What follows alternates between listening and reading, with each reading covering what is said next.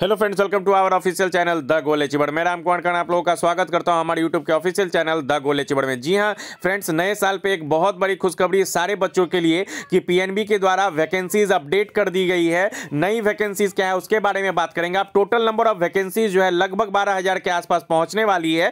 तो आपको मैं बता दूँ कि ये आपको स्क्रीन पर दिख रहा होगा। All India Punjab national bank officers association के द्वारा ये रिलीज़ की गई है, जो कि इकतीस दिसंबर दो हज़ार इक्कीस का आपको ये पीडीएफ है, इस इकतीस दिसंबर को ही रिलीज़ की गई है। इसमें जो है कलर की जो वैकेंसीज है, जो कि डायरेक्ट रिक्रूटमेंट के द्वारा की जाएगी, प्रमोशन के द्वारा नहीं तो डायरेक्ट रिक्रूटमेंट के द्वारा 2650 वैकेंसीज आप रिलीज़ की गई है, जो कि पहले की अपेक्षा काफ़ी अच्छी वैकेंसीज है।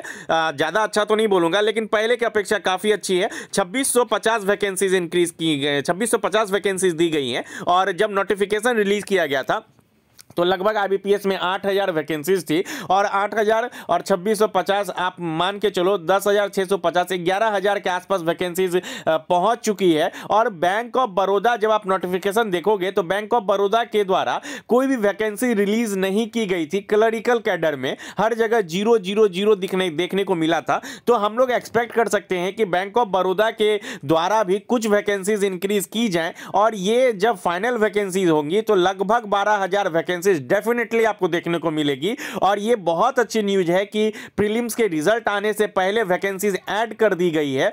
तो जिससे क्या होगा कटअप पे भी इफ़ेक्ट पड़ेगा। और अब हम लोगों को क्या करना है, जम के तैयारी करना है मेंस की। और क्योंकि वैकेंसीज जो है काफ़ी अच्छी हैं, और ये नए साल पे एक बहुत अच्छी अपडेट थी सभी स्टूडेंट्स के लिए। आई होप आप लोगों को पसंद आया हो तो दबा कर लाइक करें शेयर करें, और हमारे चैनल को सब्सक्राइब करें। Thank you for watching keep watching our videos happy new year to all of you